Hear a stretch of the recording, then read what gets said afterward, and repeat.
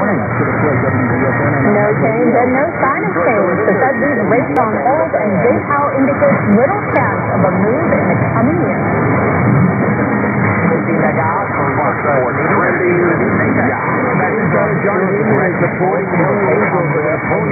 Seven years, $245 million.